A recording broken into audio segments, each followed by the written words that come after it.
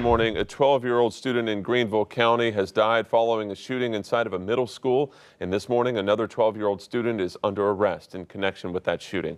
A spokesperson for the victim's family identified him as Jamari Cortez Bonaparte Jackson. The spokesperson says the family is devastated by this tragedy and is asking for privacy right now. People gathered last night for a vigil across the street from Tanglewood Middle School. The group praying for everyone involved. And this morning, our Taggart Houck and Rashad Williams have more on what happened. The call came in around 12:30 Thursday afternoon from the Tanglewood Middle School resource officer.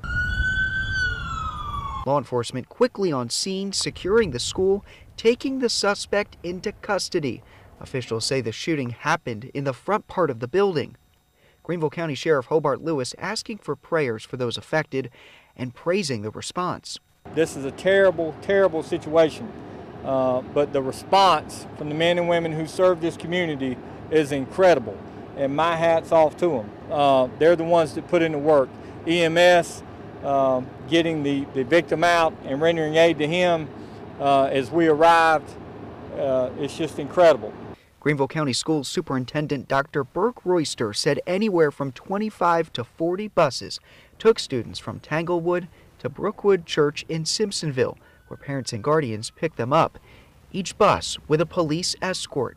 As I think we would all look at this, it's a senseless tragedy, and unfortunately one that occurs all too often in today's society, uh, where people perhaps resort to violence and, uh, and it has a lasting impact on all those that are in proximity to it.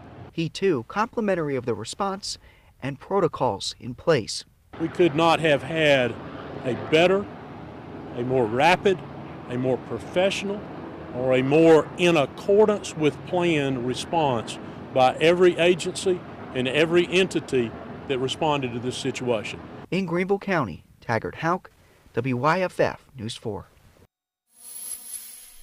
this boy had a gun, and then he shot one boy uh, in his side. Officials say the shooting happened at the front part of the building, and the victim identified as 12-year-old Jamari Jackson.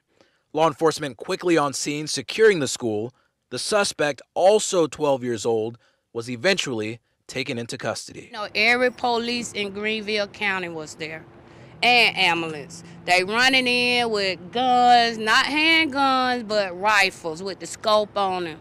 Angela, the mother of Printasia, said she actually showed up to the school a little early for a 12:30 meeting as things began to unfold.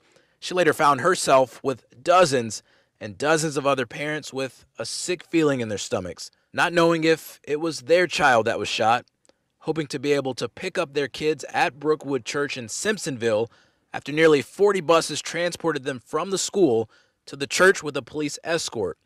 Brookwood Church was filled with hugs, tears, and an appreciation for being able to see the ones you love most. You don't know if your kid got shot or, you know, they, no. I mean, I was so terrified, I didn't know what to do. My heart was in my stomach, you know, because I couldn't find her.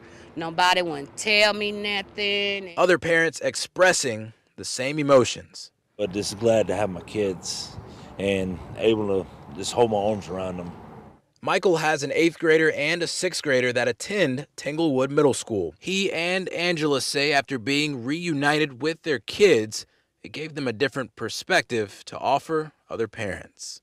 No disrespect, teach your kids, teach your kids not to be bullies and, you know, try to teach them, protect them the best way you can. When they come to you with a problem, listen. All you got to do is listen. Even if you can do something about it or not, just listen.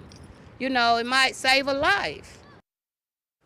Okay, that was Rashad Williams reporting there. And because of the age of the student arrested in this shooting, his name has not been released.